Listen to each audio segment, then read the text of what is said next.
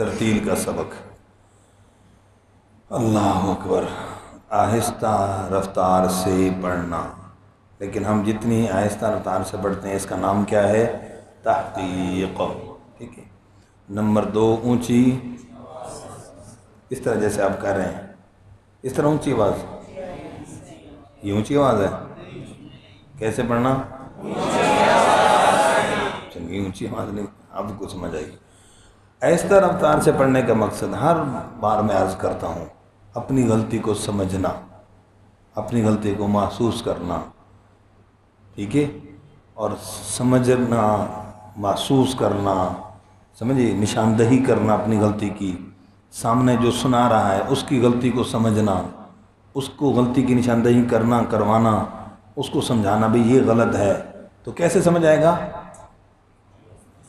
آہستہ رفتار کیسے بھی آہستہ رفتار سے پڑھیں گے تو سمجھ آئے گا۔ تیز پڑھنے سے سمجھ۔ دوسرا ہے اونچی آواز سے پڑھنا۔ مقصد کیا ہے؟ اس سے غلطی کی تصحیح اور اصلاح ہوتی ہے۔ غلط ہو حرف، اس کی ادائیگی غلط ہو۔ صحیح کیسے ہوگی بھائی؟ صحیح ہونے کا امکان کیسے ہے؟ جب اونچی آواز سے پڑھیں گے تو اس کے صحیح ہونے کا امکان ہے، ورنہ صحیح نہیں ہوگی۔ اب دوست کیا کرتے ہیں؟ زور نہیں لگا رہے، پھر۔ ابھی حروف پڑھ رہے تھے، اس کے اندر بھی کہے گا سود اب اس طرح تو نہیں آئے گا۔ دو تین مرتبہ زور لگوائے، ادھر ساتھی بیٹھے۔ تو ان کا حرف سواد جو ہے نا، تیسری تیسری مرتبہ صحیح ہو گیا۔ اور پہلے ہی بس، سواد، پھر زور لگوایا، پھر زور، تیسری مرتبہ صحیح نکل گیا۔ تو یہ اس طرح محنت کریں گے اور اونچی آواز سے پڑھیں گے، پھر فائدہ ہوگا۔ پڑھیں گے انشاءاللہ۔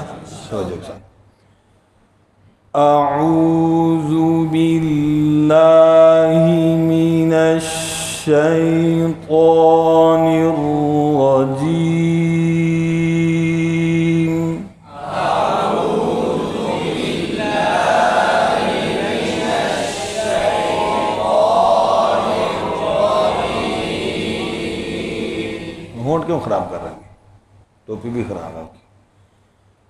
بسم الله الرحمن الرحيم بسم الله الرحمن الرحيم قل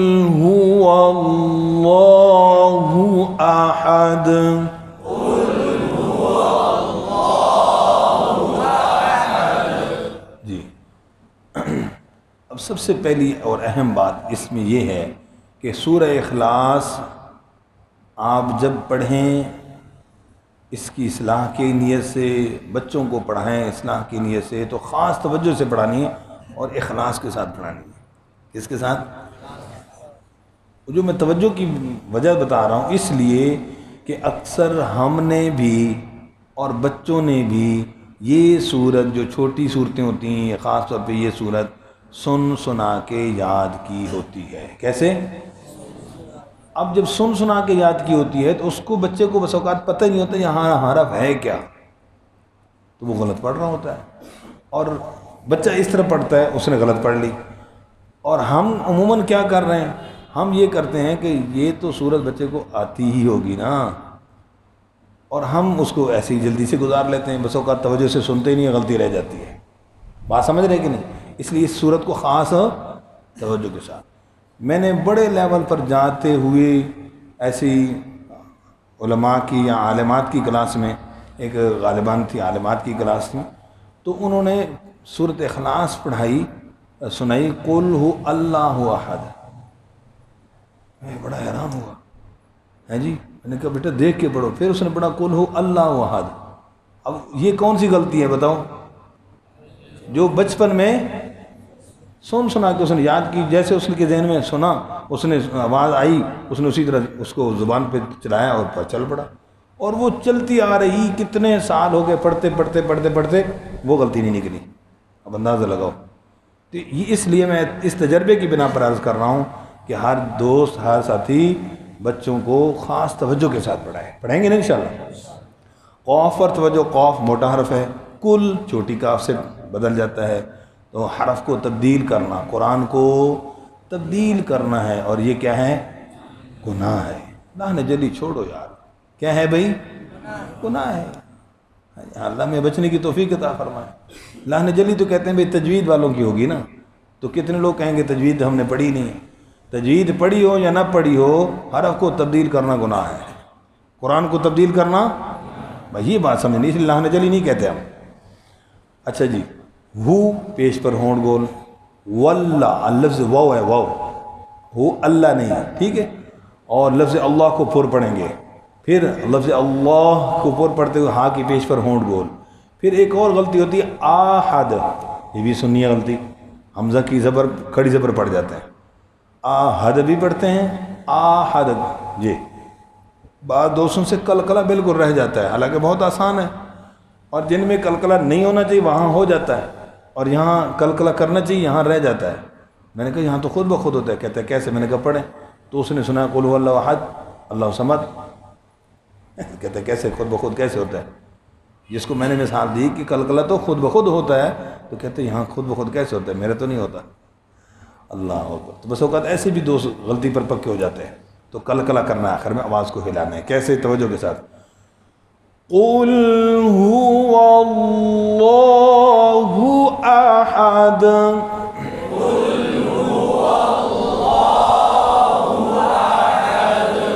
اور ایک غلطی بھی یہ بھی چل رہی ہے بس کو تلاوت کے انداز میں، قل هو اللہ اس طرح لمبا کھڑی زبر کو کیسے کریں گے بھائی؟ یہ بھی خیال کرنا ہے، ٹھیک؟ آگے لفظ اللہ کو پر پڑھیں گے ہاں کی پیش کو سواد سے ملائیں گے۔ یہاں ایک غلطی کیا ہو رہی ہے اللہ حس، سین کی آواز آ گئی۔ سمد پڑھتے ہیں، کئی سین پڑھ جاتے ہیں لانے جلی حرف تبدیل ہو گیا۔ بعض حس سومد، اب حس میں سین بن گیا، سومد میں سواد بن گیا۔ تو دو حرف بن گئے، علیحدہ علیحدہ، ایک سین، ایک سواد۔ اور یہاں دونوں شد کی صورت میں کیا ہے؟ ایک سواد ہے۔ کیا ہے بھائی؟ ایک سواد ہے۔ تو اس کا، اس پر خاص توجہ۔ اللہ الصمد۔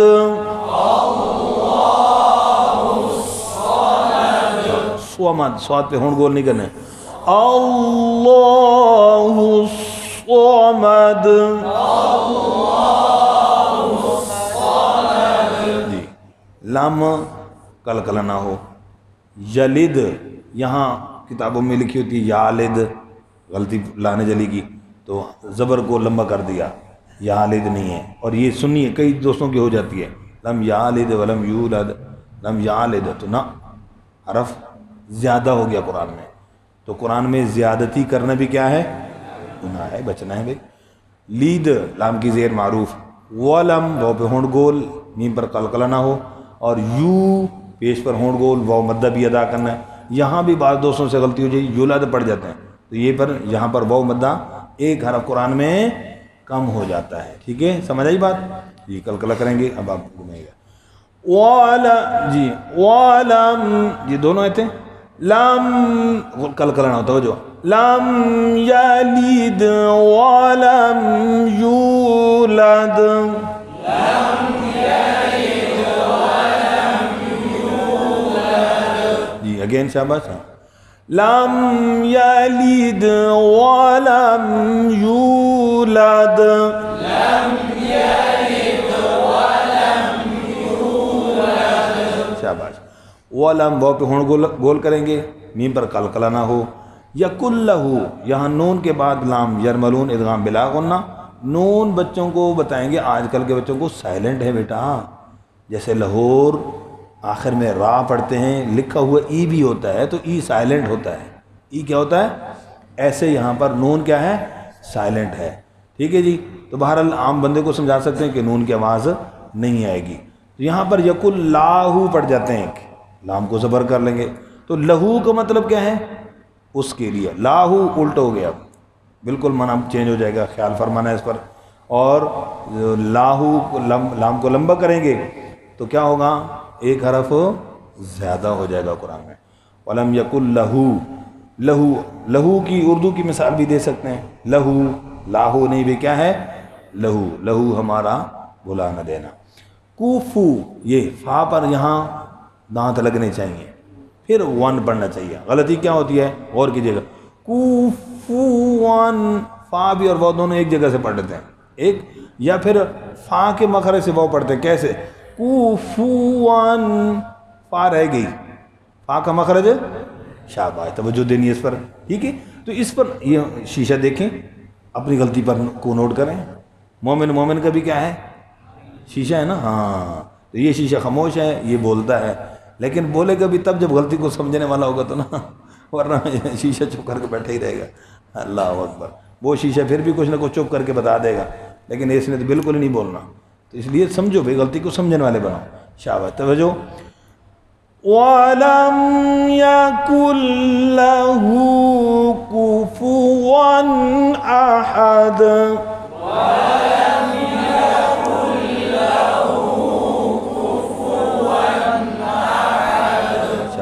سے مات فرما لیں غلطیوں کی سمجھ آ گئی؟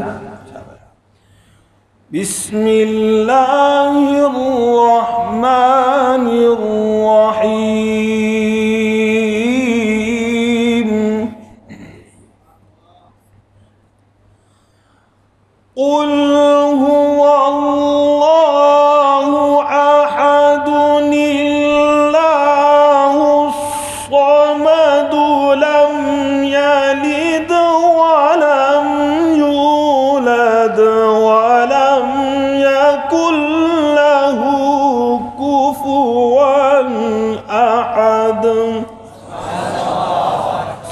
صدق الله العظيم